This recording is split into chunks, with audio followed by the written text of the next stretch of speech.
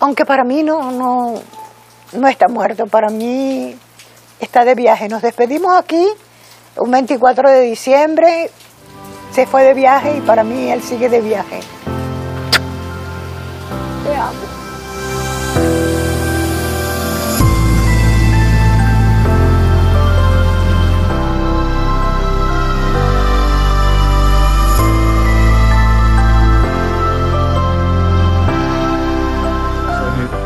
No les digo un adiós, sino simplemente hasta pronto. La muerte de uno de los mejores animadores de Venezuela marcó el corazón de cada uno de los que lo conocieron y admiraron. Guillermo Fantástico González, mejor conocido como Rolo E Vivo, falleció el 30 de junio del año 2020 a causa de una grave enfermedad como el cáncer de hígado, padecimiento que todos desconocían hasta después de su muerte el animador ocultó su enfermedad, ya que no quería que nadie lo recordara con lástima, pues sus últimos días fueron muy duros, tanto así que se viralizó en redes su hospitalización sin que nadie sospechara que padecía de cáncer. Siempre fue un hombre muy alegre, amigable y empático. Mira, vamos mitad y mitad, porque aquí vamos a arrasar. Pito pito aquí. Vamos a ver qué opina eh, la increíble, inenarrable, inexplicable Altagracia Sarmiento. Primero que nada, Altagracia, dime, ¿está, atención, ¿está taquillero? Sí. Taqui, taqui, taqui, taqui, taqui, taqui, taqui, taquillero. Antes de continuar, recuerda apoyarnos suscribiéndote al canal activar la campanita de notificaciones y dejar tus comentarios. En la televisión venezolana del siglo XX, Guillermo entró al mundo del espectáculo como un actor que, dicho por él mismo, quizás tenía más carisma y suerte que talento histriónico. Su personalidad lo llevó a aparecer en los horarios estelares con referentes como Raúl Amundaray, Eva Blanco, Eva Moreno, y talentos juveniles como Johnny Fuentes, Elianta Cruz y una jovencísima Doris Wells. En lugar de acomodarse en la comodidad que siempre permite el protagonismo y la fama local, decidió mudarse a México. No solo para seguir actuando, algo que se le dio bastante bien, sino para entender desde adentro cómo funcionaba esta industria nueva y compleja, que amenazaba con devorarlo todo cuando vuelve de México, un territorio televisivo que estaba decidido a alcanzar la escala que había perdido el cine de su época dorada, trae a Venezuela una idea revolucionaria, viva la juventud. Lo singular es que además es estimulado por la televisora para ser el animador. De ahí en adelante estuvo decidido a poner en práctica el modelo de ser mucho más que el talento, además de debutar como host, llegar a dirigir y producir todo el espectáculo.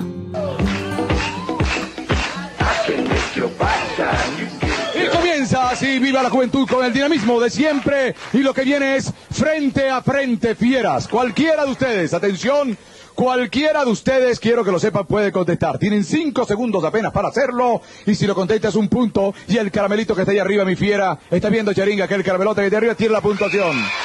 Muy bien, muy bien. Si bien ya algo así había sido probado con rotundo éxito comercial por Reñío Tolina, eso mismo le había valido obstáculos y enemistades que terminaron sacándolo de la pantalla. Así que era visto como mucho más que una audacia. Sin embargo, en México había aprendido cuánto le gustan a las plantas televisoras los récords que no alteran el presupuesto. Cuando Viva la Juventud se convirtió en el primer programa de concursos con más de tres años al aire, sin representarle mayores gastos al canal que los que sostenía la publicidad, su autoridad pasó a ser incuestionable. Nadie, sabe cómo va a terminar, pero lo que sí sabemos es que lo que viene es frente a frente.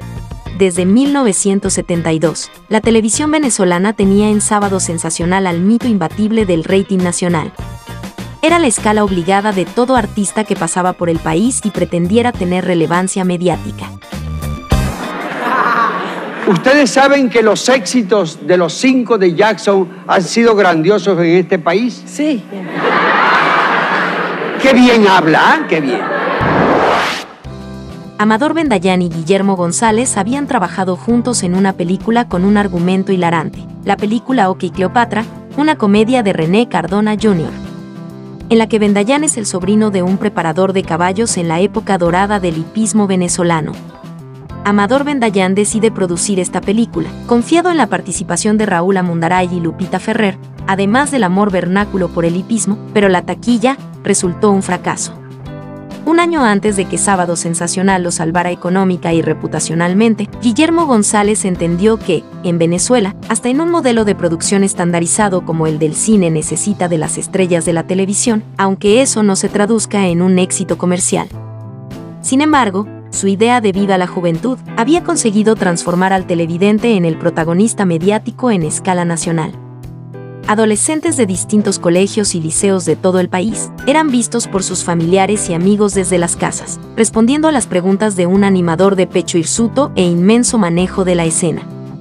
Durante más de tres años, mantuvo el liderazgo en los concursos con preguntas, que pondrían en aprieto a varios de esos estudiantes de hoy, las conexiones que había establecido Venevisión con la industria musical foránea y el manejo del presupuesto más alto en toda la historia de los medios lo perfilaban como imbatible, pero por primera vez tenían un contendiente de cuidado. Incluso, incorporaron la experiencia de productores extranjeros, sobre todo argentinos y cubanos con experiencia en musicales. La batalla por el rating durante el primer año fue feroz y Guillermito Fantástico González los había puesto a gastar más dinero del que pretendían. Él se atrevía a entrevistar, polemizar e incluso a ganarle primicias a los periodistas de farándula. Fantástico presenta otra etapa de ¿Cuánto vale el show? La sección que entretiene y divierte. Este lunes, una promesa. Estará mejor que nunca. ¿Y qué jurado? La super sexy Aide Balsa. El humor criollo de Virgilio Rullido Galindo. La experiencia musical de Federico Gatorno. Y la simpática Betty Haas. Sí, ¿cuánto vale el show? Este lunes estará mejor que nunca. Como siempre, junto al rey Guillermo Fantástico González. En 1980 aparece Cuánto vale el show como una sección dentro de Fantástico. Guillermo González había aprendido muy bien una de las lecciones de Viva la Juventud. Y es que la gente ama ver a sus ídolos en la tele, pero solo una cosa puede ser mejor que eso, y era verse a sí mismos. Nervioso que Caperucita bailando con el lobo llega el tercer participante. Gracias, gracias, Shotis. El tercer participante es el señor José Carrillo. Viene de Guanare y tiene 26 años. Es actor, como lo ven ustedes, y canta me vas a echar, pero de menos. Y este es su grito histriónico. Tallarines no le gana pizza ni que le pongan anchoas. En una lección de producción ejecutiva brillante, Guillermo González resultó pionero en una industria que apenas empezaba a explorar en la televisión comercial, la idea de artistas amateurs, siendo evaluados por un jurado, donde cada juez además tenía una personalidad y un rol emocional en la audiencia. José Ángel Carrillo nos presenta una excelente voz de barítono oscura, un excelente intérprete, no solamente belleza en su voz. Gracias Carlos Almenar. ¿Qué dice la profesora Prieto? De verdad, ¿qué te puedo decir después de esas palabras tan lindas del maestro Almenar Otero, que para mí están llenas de verdad y de gran respeto? Yo tengo gran respeto por su opinión y bueno, desearte lo mejor del mundo. 15 mil la mudita Belinda de por esta calle? Que no dice nada, pero yo lo voy a decir por ti. El corazón te palpita, la cabeza te hace uyuyuy, las manos gritan de placer. Y el formato de cuánto vale el show llegó a estar de costa a costa en los canales hispanos de Estados Unidos, hasta avanzado el año 2001, mucho antes de la democratización de la televisión por suscripción. Años de Guillermo Fantástico González. Gracias, Gilberto. Un fuerte aplauso para el número 2, por favor.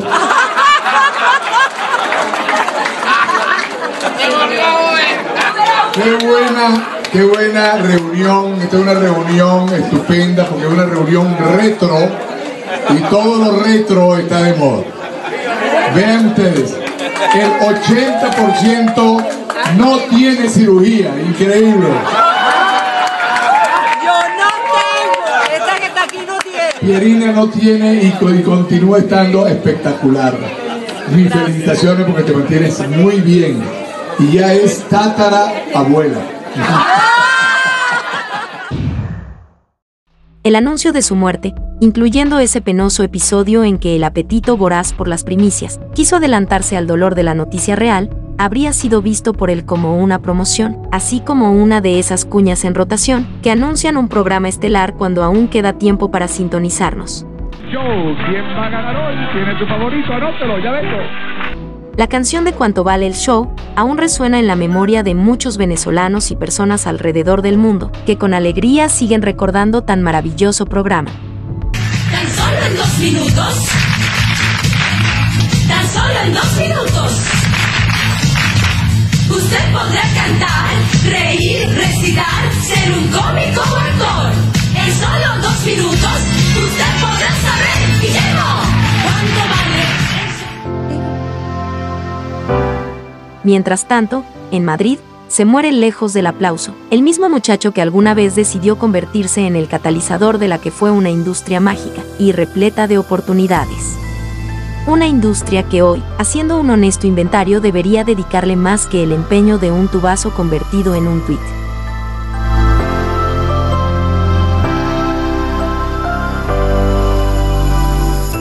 Quiero desearles a todos muchísima felicidad, mucho cuidado porque hay mucho viento y, y ¿sabes cómo son las hojas? Se las lleva el viento, pero quedan las cosas aquí. Así que cuídense, yo los quiero mucho y siempre tendrán a la orden el rolo y vivo Guillermo Fantástico González.